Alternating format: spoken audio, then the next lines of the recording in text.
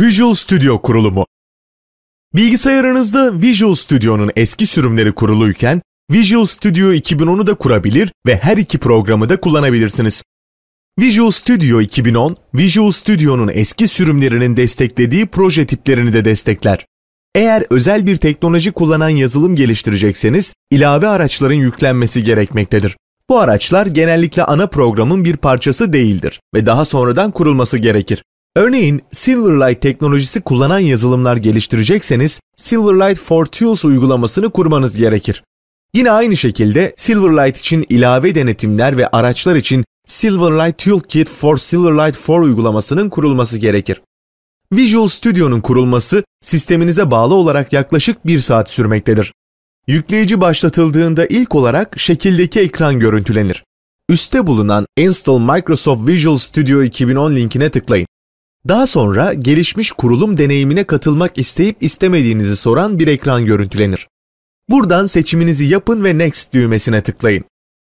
Bir sonraki ekranda lisans koşulları bulunur.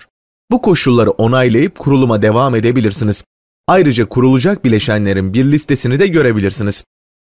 Daha sonra açılan ekran kurulum yapılacak disk alanı ile ilgili bilgiler içerir. Kurulum seçeneği olarak Full ve Custom seçenekleri bulunur. Custom seçeneğini işaretleyerek bazı bileşenlerin kurulmasını engelleyebilirsiniz. Eğer özel bir durum yoksa burada Full seçeneğini işaretleyin ve tüm bileşenleri kurun. Install düğmesine tıkladığınızda kurulum aşamalarını gösteren bir liste görüntülenir. Ekranın alt kısmında kurulumun neresinde olduğunuzu gösteren bir ilerleme çubuğu bulunur. Kurulum bittiğinde kurulumun başarıyla bitirildiğini gösteren bir ekran görüntülenir. Install Documentation düğmesine tıklayarak yardım dosyalarının yüklenmesini sağlayabilirsiniz. Kurulum tamamlandıktan sonra Visual Studio'yu çalıştırabilirsiniz. İlk kez çalıştırdığınızda şekildeki karşılama ekranı ile karşılaşacaksınız. Bu seçenekler araç kutularının pozisyonlarını ve kullanabileceğiniz klavye kısa yollarını belirleyecektir. Bu eğitim için General Development ayarları kullanılacaktır. Daha sonra bu ayarları değiştirebilirsiniz.